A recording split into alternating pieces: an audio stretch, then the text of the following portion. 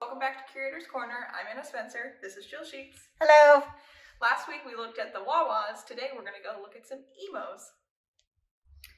Today we're going to be going through a blast from East Wenatchee's past with their schools.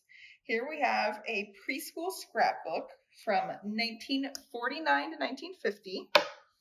This is just a personal scrapbook that somebody made for their child that was in preschool, but still it has lots of cute pictures they've added, lots of newspaper clippings, some of the children's artwork.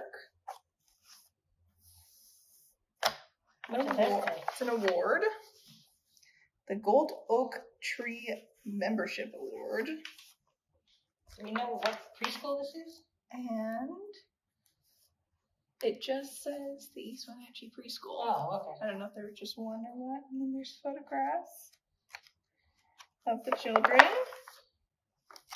at the school. And then we also have. And it's wooden? It's made out of wood, yes. Hmm.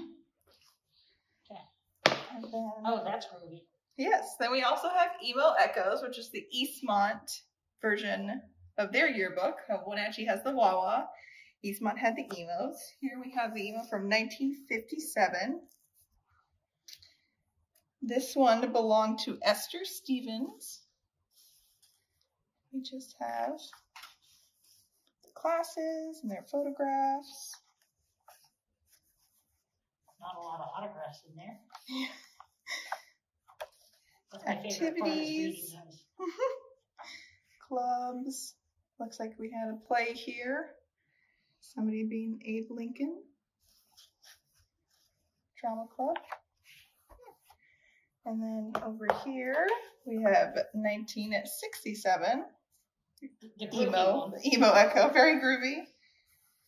Oh, this one, this one has autographs. Yes. This one, same. Lots of clubs and sports. Girls Glee Club, Boys Glee Club. Some football pictures. Tennis.